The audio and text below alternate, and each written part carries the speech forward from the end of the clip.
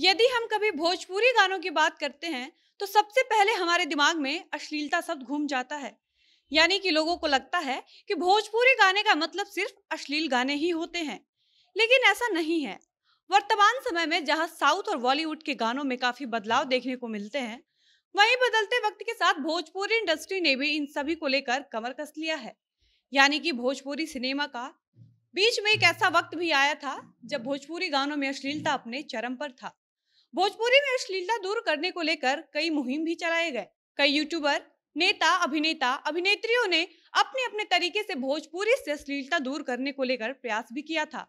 इन सारे प्रयासों का ही परिणाम है कि अब लगातार भोजपुरी में इतने साफ़ सुथरे गाने आ रहे हैं, जिसको किसी भी शादी या बर्थडे पार्टी में खूब बजाया जाता है। ऐसे में ही भोजपुरी इंडस्ट्री के फ़ेमस गायिका प्रियंका सिंह, जिन्होंने अपनी गायकी से भोजपुरी सिनेमा में अपना नाम और अपना पहचान बनाया है।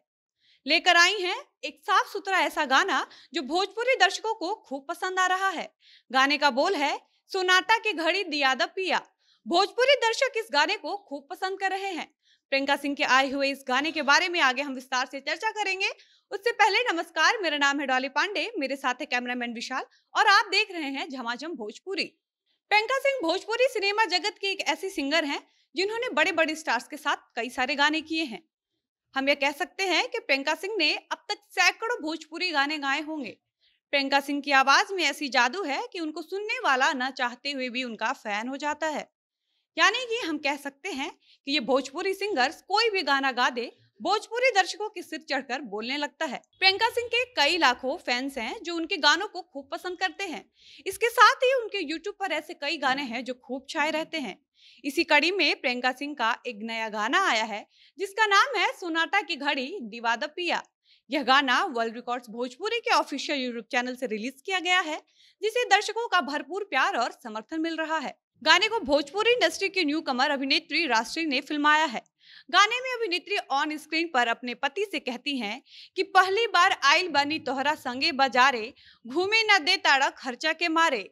एक ही डिमांड बा पूरा द पिया, जुड़ाद पिया, सोनाटा के घड़ी दिवाद पिया। इस गाने में अभिनेत्री अपने रेट्रो लुक में नज़र आ रही हैं। वीडियो में अपने अलग अलग एक्सप्रेशन से लोगों को इम्प्रेस करने की कोशिश भी कर रही हैं। इस गाने की सबसे खास बात यह है कि गाने के लोकेशन में गाँव के घरों को दिखाया गया है।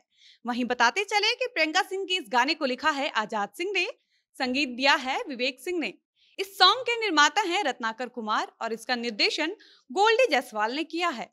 वहीं इस गाने में कोरियोग्राफी बॉबी जंक्शन ने की है। इतना ही नहीं, प्रियंका सिंह का गाना नथुनिया भी अब तक का ब्लॉकबस्टर सॉन्ग है। इस गाने में अर्शिया अर्शी और भोजपुरी की ट्रेंडिंग स्टार कहे जाने वाले खेसारी लाल यादव की लव स्टोरी की केमिस्ट्री देखने को मिलती है। भोजपुरी इंडस्ट्री की ब्लॉकबस्टर सिंगर प्रियंका सिंह का कोई भी गाना आता है, उनके पसंद करने वाले उनको इतना प्यार देते हैं कि उनका गाना आते ही सोशल मीडिया पर छा जाता है। इसके साथ ही प्रियंका सिंह ने भोजपुरी के सभी सिंगर्स के साथ हिट गाने दिए हैं, जो कि यूट्यूब पर खूब वायरल भी हुआ है। और साथ ही उनके गानों को उनके फैंस या उनके चाहने वालों के द्वारा लाखों करोड़ों बार देखा जाता है। इस गाने में अभिनेत्री राष्ट्रीय की एक्टिंग को देखकर ये बिल्कुल कहना गलत होगा कि राष्ट्रीय भोजपुरी इंडस्ट्री में कदम रखने वाली न्यू कमर्स हैं। सिंगर प्रियंका सिंह के इस गाने का वीडियो तीन मिनट इकतीस सेकंड का है। वहीं सिंगर प्रियंका सिंह का पॉपुलर गाना सैया जी दोबारा गईले को अब तक तैतीस लाख लोगों ने देखा है। यह सब देखकर कहा जा सकता है कि भोजपुरी म्यूज़िक इंडस्ट्री की स्टार प्रियंका सिंह का कोई भी गाना आता हो वो रिलीज़ होते ही चर्चा का केंद्र बन जाता है। प्रियंका सिंह अपने नए गाने से अपने दर्शकों पर जादू चलाती रहती हैं।